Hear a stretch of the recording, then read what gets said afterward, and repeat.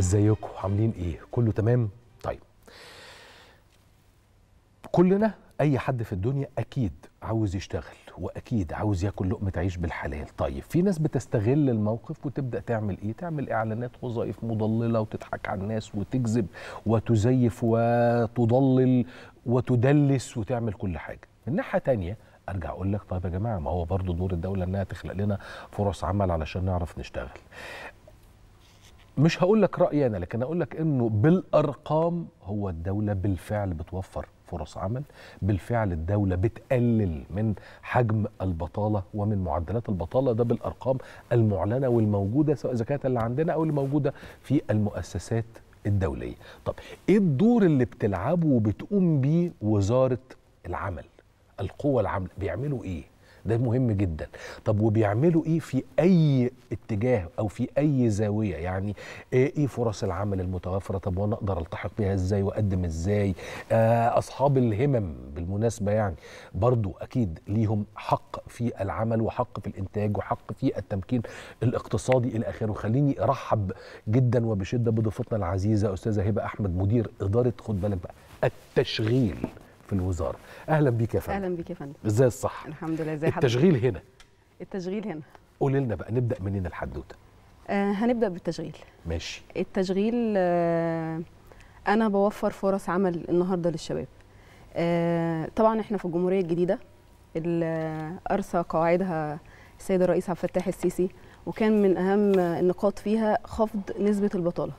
وفعلا نسبة البطالة من سنة 2014 إلى النهارده انخفضت من نسبة من 13% إلى 7% بناء على البيانات آه، الوارده من الجهاز المركزي للتعبئة والإحصاء. أنا هقاطع حضرتك في الحتة اتفضل دي انخفاض معدل البطالة بهذا الشكل لو إنه معدل السك أو آه، عدد السكان ثابت يبقى إحنا عاملين حاجة عظيمة جدا. طبعا. طب في إطار إن معدل السكان عندي بيزيد والداخلين إلى قوة العمل بطبيعة الحال بيكبروا فبيزيدوا. فكده اللي معمول يعني حاجة مذهلة. آه طبعا. ماشي. آه، إحنا النهارده طبعا في مشروعات قومية عملاقة آه، يعني الدولة قامت بيها في ظل التحديات اللي كانت بتعرض بيها الدولة الفترات اللي فاتت. آه، إحنا عندنا العاصمة الإدارية الجديدة المدن الجديدة الإنشاءات الكباري كل دي كانت بتوفر فرص عمل للشباب وكانت بتخفض من نسبة البطالة. ويجي هنا بقى الدور الأساسي للوزارة. إحنا بنوفر فرص عمل. دي من خلال النشرة القومية للتوظيف. أنا عندي النشرة القومية للتوظيف. دي بصدرها مرتين في الشهر بصفة دورية. دي بالتنسيق مع شركات القطاع الخاص. بنشوف إيه احتياجاتهم إيه طلباتهم في في الوظائف اللي هم محتاجينها. وبنبدأ نقعد ونشوف فعلا الشركة دي أوراقها سليمة. الشركة إيه اللي طالباه آه، هتطبق الحد الأدنى إيه الامتيازات اللي هي هتقدمها للشاب النهارده. وأبدأ أنا أتابع الشركة بعرض الفرصة بتاعتها على النشره القومية للتوظيف ثلاث وبنبدا حاجات أنا هقطعك كتير. براحتك. يعني واحد بتتعاملوا مع القطاع الخاص. أكيد يا فندم. اتنين بتتأكدوا من جودة المناخ الوظيفي لو صح التعبير. طبعا. تلاتة وده مهم جدا إنه يطبق الحد الأدنى للأجور. طبعا. أربعة بتشوفوا بقى إذا كان في مميزات. أكيد طبعا. آه، كانت من آه، يعني اهتمام آه، معالي السيد الوزير حسن شحاتة وكانت توجيهاته لينا دايما أنا عايز فرص عمل حقيقية المتابعة المستمرة مع مكاتب التشغيل. أنا الفرص دي النهارده بجيبها عندي 300 مكتب تشغيل في 27 محافظة. آه، بينزلوا تفتيش على المنشآت آه، بيشوفوا احتياجاتهم إيه وبيبدأوا يجيبوا لي الشركات دي. آه، في متابعة مستمرة مع مع الشركات في في في الاحتياجات اللي هم طلبوها في الناس اللي هم خدوهم. بتابع المواطن بعد ما كمان بيتمد- العقد بتاعه في الشركة أنا بتابعه. آه، دي مع مكاتب التشغيل ومع الشركات. تاني حاجة أنا بعمل ملتقيات توظيف. آه، دي بقى مع الجهات معنية مع شركاء دوليين مع طبعا بالتنسيق دي بقى مع المديريات بتاعتنا مديريات العمل. آه، وكان عندنا دلوقتي آخر ملتقى توظيفي كان آه، في محافظة القاهرة. آه، كنا حوالي 10000 وظيفة فرصة عمل آه، في 73 شركة. وإحنا إحنا دلوقتي تقريبا بقى لنا أسبوع من ملتقى إحنا بنتابع يوميا الشركات وبنتابع الأعداد اللي خدوها وبنتابع بنتابع كمان عقود العمل بتاعتهم. وبنقدم كمان ال- الجديد بقى والحلو بتاعنا ان إحنا بنقدم كل الحاجات دي بتنزل على الصفحة الرسمية للوزارة. يعني كان في ملتقى توظيف شهر ثلاثة لذوي الهمم نزلت الأسماء والعقود بتاعتهم على الصفحة الرسمية للوزارة. وب- وبتتابعوا يا فندم مدى التزام الشركة بالتعاقدات اللي تم إبرامها؟ آه طبعا. آه طبعا. وأي. حد يعني أي شاب حصلت أي مشكلة ليه بيجي بيتوجه لمكتب التشغيل اللي هو تابع ليه. بيجي الوزارة عنده البوابة الإلكترونية للشكاوي تبع مجلس الوزراء بيقدم فيها وإحنا بنتابع كل ده وبنتابع على كل استفساراته وبنرد عليها.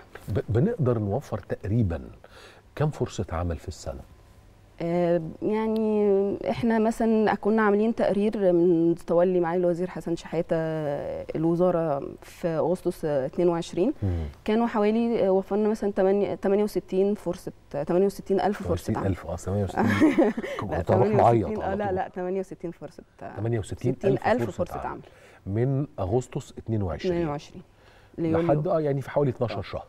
تمام. اتفضل. كملي لا يا فندم. اتفضل. لا لا والله ابدا. آه أنا بس كنت عايزة اكد كمان إن إحنا دي في متابعة مستمرة على الفرص دي فرص العمل آه يعني بشكل يومي تقريبا. أنواع فرص العمل اللي بيتم توفيرها إيه؟ آه كل فرص العمل اللي بيحتاجها سوق العمل. أي آه، فرصة عمل؟ آه طبعا مهندسين محامين محاسبين آه، عمال أفراد أمن أي فرصة عمل الشركة بيحتاجها النهارده إحنا بننز- بننزلها. على مختلف القطاعات. آه طبعا. بتعامل مع القطاع الخاص بعد ما بتأكد من جديته طبعا. وبتابع مدى التزامه جدية آه طبعا طبعا. إيه الشروط اللي مطلوبة مني أنا مثلا علشان أقدر أروح أقدم في آه، ال ال ال الوظائف دي؟ غير إنه أبقى متوافق مع متطلبات الوظيفة. لا أو بعمل إيه؟ أو أروح فين؟ آه عشان النهارده تقدر تقدم على الوظيفة دي عندك كذا طريقة. عندك مكتب التشغيل اللي أنت تابع يعني تابع محل سكنك. ممكن تروح لغاية عنده تشوف. يعني فرص العمل فيه. عايز تروح المديريه مديرية العمل روح. عايز تيجي الوزارة اتفضل. آه، في حاجة أسهل بتدخل على الصفحة الرسمية للوزارة على الموقع الرسمي للوزارة في كل الوظائف بتاعتنا. انت بتقدر تشوف الوظيفة المناسبة ليك. بيبقى في كمان آه، رق- أرقام تليفون آه، المسؤولين في الشركات تقدر تتواصل معاهم. في كل البيانات وكل التفاصيل بتبقى على الصفحة الرسمية للوزارة. عظيم جدا. طب أنا هستاذنك يا فندم هطلع فاصل هرجع بعد الفاصل وهسأل أظن سؤال آه، مهم إن إحنا نبقى عارفين إجابته. مدى آه، استطاعتنا وقدراتنا على خلق وظائف لأصحاب الهمم؟ ده مهم جدا. فاصل ونكمل الكلام. ازيكم؟ عاملين إيه؟ خلونا نجدد الترحيب مرة تانية. بالاستاذه هبه أحمد مدير إدارة التشغيل بوزارة العمل. أصحاب الهمم نصيبهم إيه؟ آه، طبعا كان في تكليفات مباشرة من السيد الرئيس في عيد العمال الماضي بضرورة دمج ذوي الهمم في المجتمع. وكانت أولى توجيهات معالي الوزير إن إحنا نبدأ نشتغل على الملف ده وفعلا اشتغلنا. آه، عملنا لجنة مركزية لحصر ذوي الهمم. حصر المنشآت اللي في ال 27 محافظة وفعلا شغالين على كده. وحصرنا تقريبا 70% من المنشآت. بنشوف آه، إيه نسبة العمال عندك. أنت ليك كام آه، حد من الخمسة في المية؟ ليك مفروض إن أنت تعين كام واحد؟ وابتدينا فعلا آه، دلوقتي معينين حوالي 11 ألف من ذوي الهمم خلال الفترة السنة السابقة دي. عظيم جدا. هل أنا وأنا بشتغل على ده ببقى بشوف الإمكانيات المتاحة لدى أهالينا من ذوي الهمم وبالتالي أقدر أوجهه في الوظائف وفي الشركات أو في الأنشطة آه المختلفة؟ طبعا. أنا بشوف له بوفر له النهارده لوظيفة العمل حسب آه، نوع الاعاقه بتاعته آه. حسب محل سكنه طبعا. يعني بوفر كافة الراحة ليه لأن هم أهم حاجة لازم أبص الاعاقه بتاعته إيه وأشوف إيه المناسب ليه حلو جدا. طب هنا هسأل برضو على حاجة كنت بستفسر عنها وإحنا في الفاصل. النهارده آه ال ال ال الوزارة والتشغيل آه، أو إدارة التشغيل بيحطوا كل الوظائف آه المتاحة إن أنا أقدر أقدم فيها. طيب افترضنا افترضنا إنه أنا مش جوه هذه الوظائف الحالية بس أنا ما بشتغلش. هل ينفع أقدم عندكم أو أحط اسمي في قاعدة بيانات آه. بحيث لما يبقى في حاجة مناسبة تنادوا لي؟ آه طبعا. في موقع الوزارة في يعني تقدر إن أنت تسجل بياناتك كلها فيها وفي ممكن مكتب التشغيل تروح وتسجل بياناتك فيها. وبالتالي يبقى أنا موجود. جوه قاعدة البيانات. أكيد طبعا. أول ما بيتلقى ليا موقع بيتم بيتم التواصل. ولا أنا لازم أفضل بتابع؟ لا يعني إحنا في متابعة مستمرة في الملف ده. طيب هروح على جزء اللي أنا كنت بتكلم عليه بقى في بداية الحلقة. المسألة بتاعه الإعلانات المضللة دي. في كم كذب وعبث و- ولعب بأحلام وطموحات الناس غير طبيعي ولعب على فكرة العمل ولقمة العيش. يعني عندنا مش عارف آه، 3000 وظيفة بمرتب لا يقل عن 10000 جنيه زائد سكن زائد مواصلات زائد يروح الشاب من دول يقدم وبعد ما يقولوا له خلاص إحنا هناخدك معانا يكتشف إن لا في 10000 ولا سبعة بتاع لها 1000 ونص. و100 فل و14 وهيشتغل في آخر بلاد المسلمين ولا مواصلات ولا دياوله. ده لو لقى أصلا القصة. حصل فعلا. آه، إحنا يعني في حملات توعية كتير على الصفحة بتاعه الوزارة بنناشد الشباب فيها إن أنت ما تنساقش النهارده ورا الإعلانات الوهمية. مع الوزير برضو أكد على الموضوع ده في أكتر من لقاء ليه وفي كل اجتماعاته. كان لازم يا جماعة ترجعوا للأساس ارجعوا للوزارة ارجع لمكتب التشغيل اللي أنت تابع ليه. هيبقى عارف كل حاجة عن الشركة اللي انت بتسال عليها. آه شوف الشركة دي أوراقها سليمة ولا مش سليمة. لازم عشان يعني ما تقعش تحت فريسة للنصب. آه، مكاتب التشغيل عندهم كل البيانات الخاصة بالشركات. ابسط روح لمكتب التشغيل اللي جنبك هو في في كل محافظة في كل مكان هتلاقي جنب بيتك مكتب تشغيل. روح اسأل عن بيانات الشركة دي. اتأكد منها. تعالى الوزارة. عشان ما تقعش فريسة للنصب. طيب هل في عندي إدارة ما مكتب ما يتابع هذه الإعلانات ويعمل لها تنقية ويتأكد مين الوهمي ومين ال- اللي جد؟ إحنا المكتب الإعلامي عندنا في الوزارة متابع طبعا الصفحة الرسمية دايما الوزارة بيتابع الصفحات دي طبعا وبنناشد وبنوجه كمان اللي مثلا لو في شركة شفناها إن منزلة إعلان إحنا مش واثقين فيه إحنا بن بنقدم البلاغ ده على طول للإدارة عندنا إدارة شركات الاحياء العامله هي بتقدر بقى تتابع بتشوف دي فعلا مرخصة ولا مش مرخصة وبناخد الإجراءات لو هي مش مرخصة بناخد الإجراءات القانونية معاها.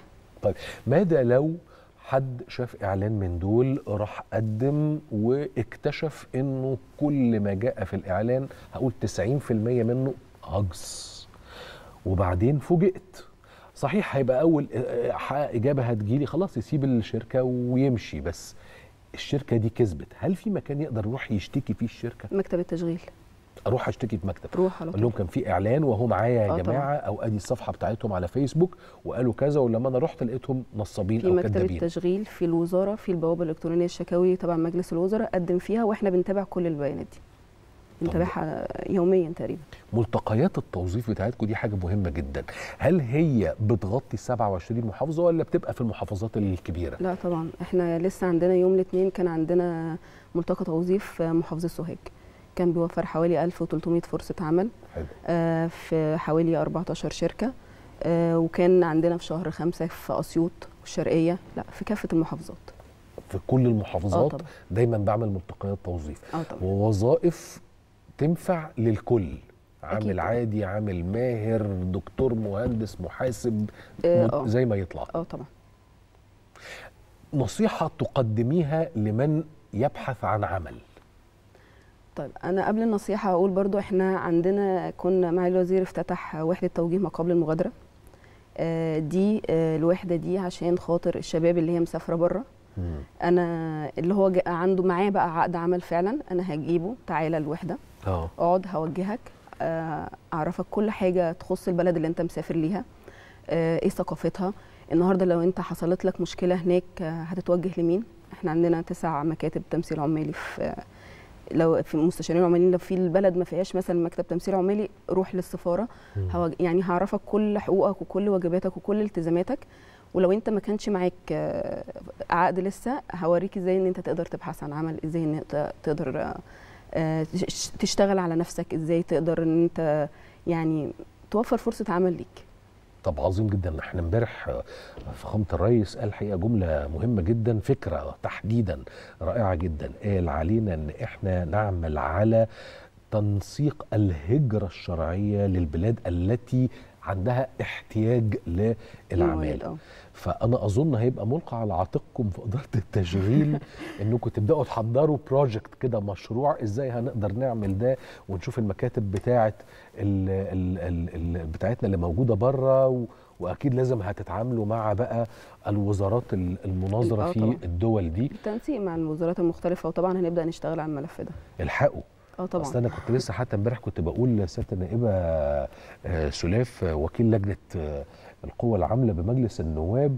قلت لها أخشى ما أخشاه إنه شهرين ثلاثة بالكتير ده بالكتير. وإن الرئيس يقول إحنا مش اتكلمنا في المؤتمر بتاع السكان والصحة والتنمية على كذا ولحد دلوقتي لسه ما جاليش مشروع حول مسألة العمالة المصرية وكيفية شرعنة خروج العمالة والهجرة الشرعية. لا إحنا بعد تكليفات سيادة الرئيس على طول بنبدأ نشتغل يعني. ده وقدود يا استاذه هبه. ربنا يكرمك استاذه هبه أنا عايز أشكرك جدا شرفتينا. ونورتينا و و وحقيقي أنا بتكلم بجد أنا بني آدم يحب جدا الأرقام اللي عملتوه كوزارة وفريق عمل بشكل عام في مسألة تقليل معدلات البطالة قلنا كانت كام يا فندم 13% سنة 2014 وصلنا ل 7% دلوقتي 7% الربع الأول. ونأكد تاني وإحنا عندنا زيادة سكانية كبيرة أكيد طبعا. معدل 2.2 من عشرة بواقع تقريبا مليون ونص مليون و600 ألف بني آدم سنويا. بالتبعية بيكبر الأطفال دول ويدخلوا يبقوا شبان في سوق العمل. فبالرغم أنه زيادة حجم القادرين على العمل البطالة عندي ما زادتش بتتراجع. ظل التحديات البلد واجهتها. مصر كانت قادرة. والعالم مصر كانت قادره في قدها قدود كل الشكر ليكي أنا بشكر أستاذة حضرتك. هبة أحمد. شكرا ليك يا فندم. أستاذة هبة أحمد مدير إدارة التشغيل بوزارة العمل. بصوا اللي عاوز شغل هيلاقي. أنا من أنصار كده. أنا كنت بشتغل ثلاث أربع شغلانات.